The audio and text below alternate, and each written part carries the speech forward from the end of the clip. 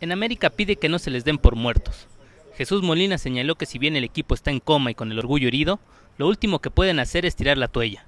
Así que pidió levantar el ánimo e ir a la bombonera para matarse y tratar de revertir el marcador adverso que les endosó el cuadro escarlata.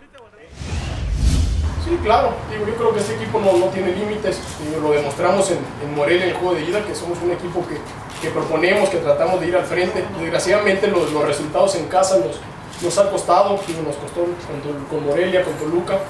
pero, pero bueno, te digo, hay que, hay que pensar en, lo grande, pensar en que vamos a salir todos motivados, dando el 100%, que vamos a hacer perfectamente las cosas y, y apenas así podemos, haciendo un partido perfecto, creo que las cosas eh, van a ser del lado positivo. Sí, claro que quiero ganar, digo, sea Toluca, sea quien sea, siempre busco, siempre busco ganar, siempre buscamos eso, el objetivo siempre es ganar y, bueno, ahora vamos a una cancha complicada, te digo, pero, pero por algo fuimos el, mejor visitante, no se queda por ahí en estadística, pero, pero sabemos jugar de visitante, yo creo que vamos a ir eh, contigo, vuelvo a repetir, con esa convicción de, de, sacar el resultado, vamos a ir paso a paso, yo creo que, que sí, si bien es son tres goles, pero tenemos que ir paso a paso, mantener un orden dentro de la cancha y, y posteriormente buscar los, los goles. Por su parte, Juan Carlos Medina consideró que frente a sí tienen una misión imposible, aunque dejó en claro que confía en sus compañeros para dar la sorpresa y lograr el pase a la gran final. Un poco difícil, pero,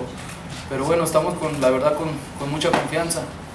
No hemos perdido credibilidad en nosotros, tenemos mucha confianza en que haciendo un partido perfecto, porque no se puede hablar de otra forma más que hacer un partido perfecto,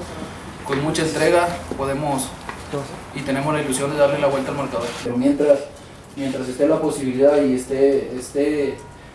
eh, en nuestras manos el poder darle, darle la vuelta y entregar todo lo mejor dentro de la cancha, hay que tener fe que, que, que se puede, ¿por qué no? Cristian Benítez realizó el viaje junto con toda la plantilla azul crema,